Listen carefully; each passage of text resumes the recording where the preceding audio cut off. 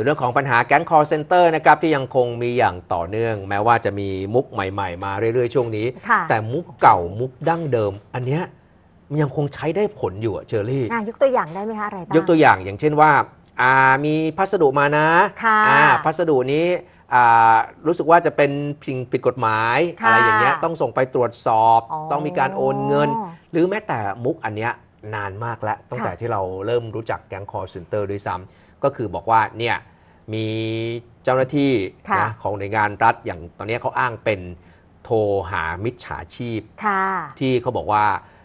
เป็นข้าราชการหญิง อืม หลอกว่าเนี่ยตัวของมิจฉาชีพเนี่ยเป็นเจ้าหน้าที่ของสคบอ๋อแล้วก็ส่งสายให้กับคนที่อ้างว่าเป็นแก๊งตำรวจ บอกว่าผู้เสียหายเนี่ยอืม เงินดังกล่าวเนี่ยเป็นค่ะเงินผิดกฎหมายนะ เป็นการฟอกเงินมา อ๋อ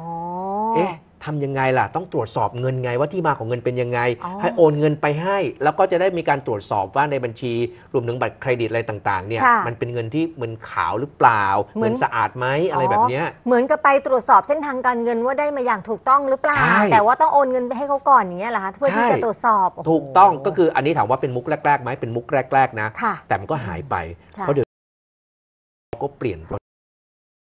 เซ็นเตอร์เขาก็เปลี่ยนรูปแบบไปเรื่อยค่ะๆจากเบอร์มือถือรูปแบบไปเรื่อยๆเป็นเบอร์ 02 แบบนี้เนี่ยนะครับล่าสุดเนี่ยนะครับแม้ว่าจะเป็นมุกแบบนี้แต่ก็มีคนหลงเชื่อค่ะคราวเนี้ย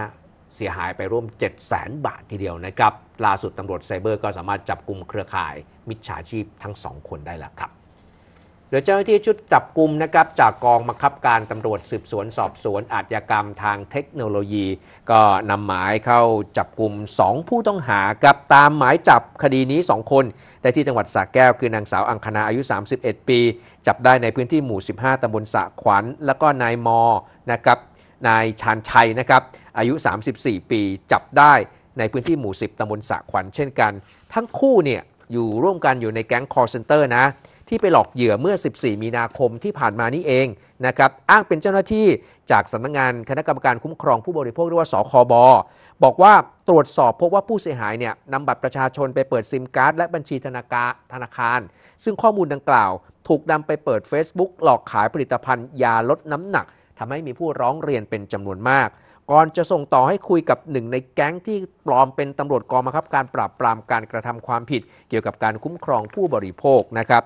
ซึ่งทางด้านของการคุยเป็นการคุยกันผ่านทางไลน์แล้วก็หลอกว่าผู้เสียหายเนี่ยมีส่วนพัวพันกับคดีฟอกเงินนะ ต้องโอนเงินไปตรวจสอบที่ปปงแล้วก็ส่งสายกับคนที่ในแก๊งอ้างเป็นปปงอีกเนี่ยนะครับวิดีโอคอลพูดคุยกัน จนผู้เสียหายหลงเชื่อโอนเงินในบัญชีไปให้ 3 ครั้งด้วยกัน รวมกว่า 631,000 บาท และยังให้โอนเงินจากแอป บัตรสินเชื่อในมือถือของผู้เสียหายไปอีกนะครับ3ครั้งด้วยกัน รวมแล้วอีก 70,000 บาทครับ ผู้เสียหายรู้ตัวว่าถูกหลอก จึงได้เข้าแจ้งความกับตำรวจ ก่อนที่จะมีการสืบสวนติดตาม จนพบหลักฐาน และมีการออกหมายจับผู้ร่วมขบวนการหลายคน โดยจะเร่งในการติดตามผู้ต้องหาที่ยังหลบหนีมาดำเนินคดีต่อไป